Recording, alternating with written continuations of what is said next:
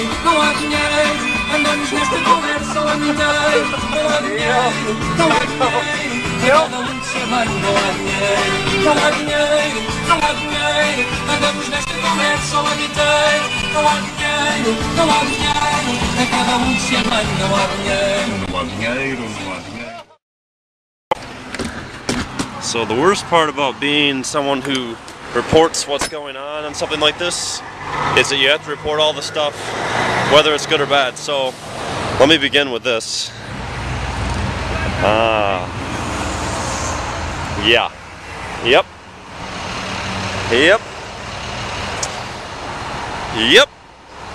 So we're driving along on the way back to New Haven, Connecticut, and we had to stop to dump the sewage for the RV and we missed a road and so we were going to turn left and they've got the lanes all messed up here for the Patriots football game.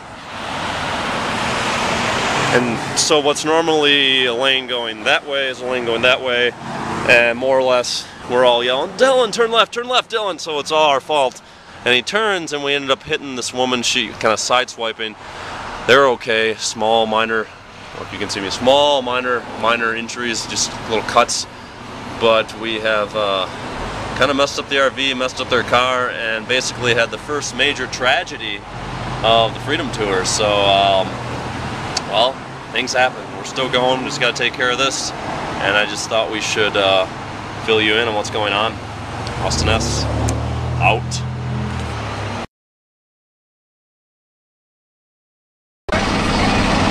I am slightly terrified right now. Did you hear this? Yep, yep, yep. Just go slow, go slow please I am. Great. You didn't destroy the trip. You made the trip what it was supposed to be, which is just-in-time failure. No, it's supposed to be a giant vagabonding trip, and we might actually be vagabonding. I didn't. I didn't sign up for that. I se- seriously, you guys should. Uh, you guys should just uh, total this thing, get the 10k back, and we're just working leg up. Don't get stuck on the bridge. That will be the worst. Oh God. Take take the first exit after you get off the bridge. Just take this exit. Uh, No. exit This is not Trunton. Umo Street. Yeah, this one. Take this exit. To Brown University students for the next month until you find another investor who will buy you another RV. Perfect, perfect. In the meantime, I'll collect the insurance money and, and use it to I'll use it to unleg up. Left, right, left, right, left. Oh, it smells terrible. You smelling coolant? Or Back up. Oh, it's getting hot now. Don't be such a wimp. This is awesome. Sweet.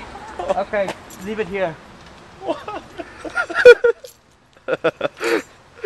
Why'd you? What is that? Is that, is that the engine Tastes burning? kind of sweet. Is that the um, engine burning? Hold on together. oh, Millennium Falcon holding The. Millennium Falcon. The Millennium Falcon is is basically dead. This thing is so bad. Oh. Yep. There is. Disaster. Look at the heat. Um, come on, girl. I. It It's, lasted for 21 years. Don't die now. Make it. slow down. Oh, baby. This is bad. Oh, this is gonna be terrible. Just, just go. Oh, it's dull. It's dull. No. Hit the hit the brakes. Um, Hold your breath. Give it some gas.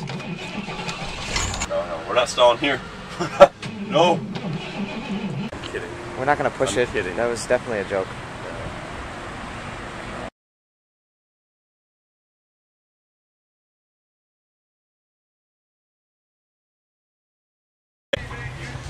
What's going on, Freedom fans? We are still sitting here in Providence, Rhode Island. Dillon and I were just uh, sick of being cooped up in the RV here today. We are just so tired of it.